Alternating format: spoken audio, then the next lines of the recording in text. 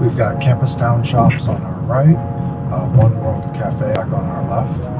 The West Bluff is home to um, to a ballet academy, and also um, a lot of really great um, local artists uh, like Jessica McGhee, um, who's an incredible muralist.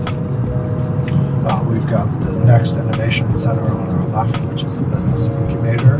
And then on our right, we've got the studios on Sheridan, as well as uh, several other stores like the Non Firebox and um, in the Costume Trunk. On our right is the studios on Sheridan. That's a uh, about 30 different artist studios, and then Urban Artifacts, which is a kind of funky little shop.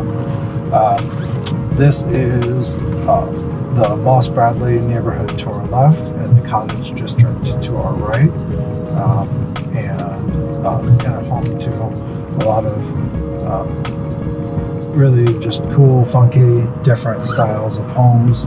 Um, more of a mixture of um, commercial and residential than any other area of the city, um, and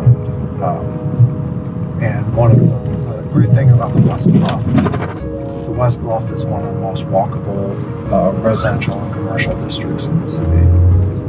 There's also a really nice mix of student housing.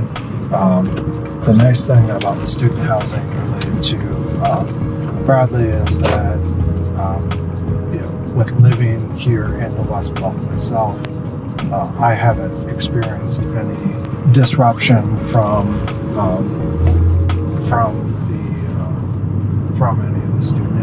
so the students can incorporate into their